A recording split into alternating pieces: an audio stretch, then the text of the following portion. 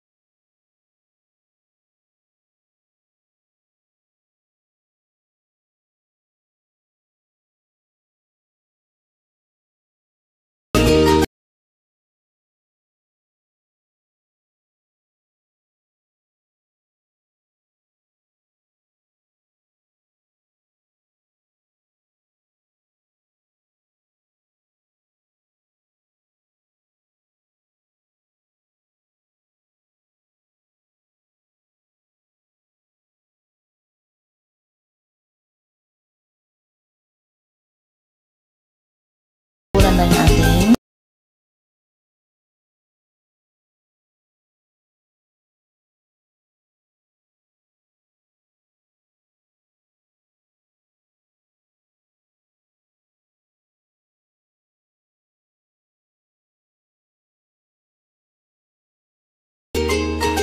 Ayan guys, tatabunan ko ulit yung mga cheese ng ating ingredients ulit, yung ating mga patatas.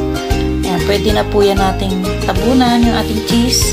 Iubos ko na natin yung ating naiwang ingredients dyan para wala na. Ayan, inubos ko na lahat. Pati yung mga sabaw. Pwede nyo pong ilagay lahat pati sa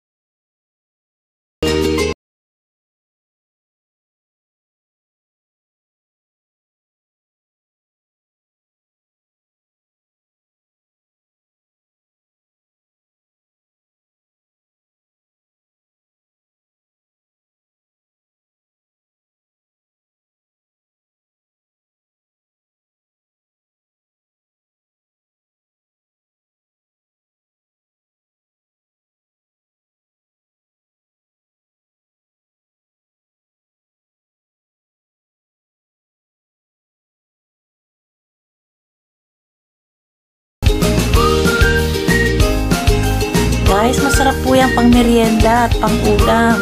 Kaya, luto na po kayo. Gayahin niyo po ito aking luto. Masarap. Thank you guys. Pa-subscribe na lang po sa di pa po nakapag-subscribe.